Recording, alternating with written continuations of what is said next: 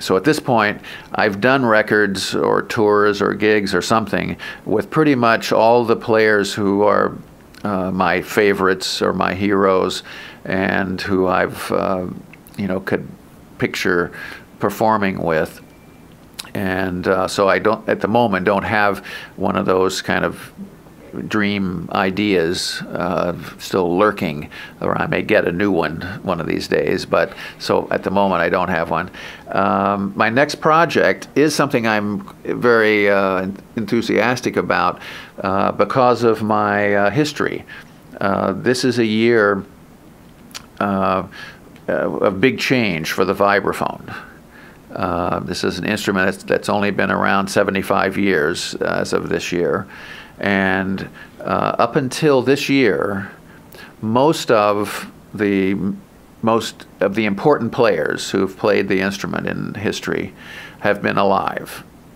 Um, you know, Lionel Hampton is one of the original players. He's still going. He's 91, I think, now. Uh, Red Norvo was 91 this year, and he passed away in April. Milt Jackson was 75, I believe, 76, something like that. And of course, he passed away this year as well. Uh, this this has you know obviously we knew that the day would finally come when uh, you know age would catch up to um, some some of the players.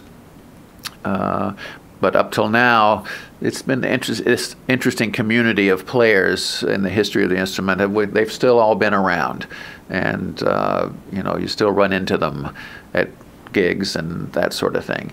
So this has been a year of, of you know great change, I think, for the vibraphone. We've lost two of our uh, real original players of the instrument and and all that. So I decided to do a sort of a, a record in honor of, of uh, four vibraphone players uh, who are Hamp, uh, Jackson, Red Norvo, and Cal Tjader.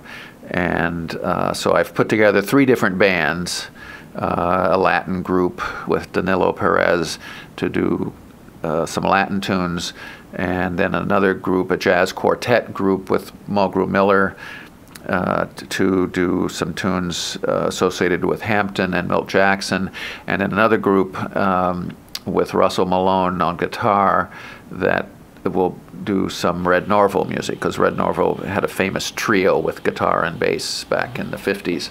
So uh, I'm not trying to play uh, stylistically like each of those players because I wouldn't be able to do that anyway. But certainly, it would be uh, a comedy if I tried.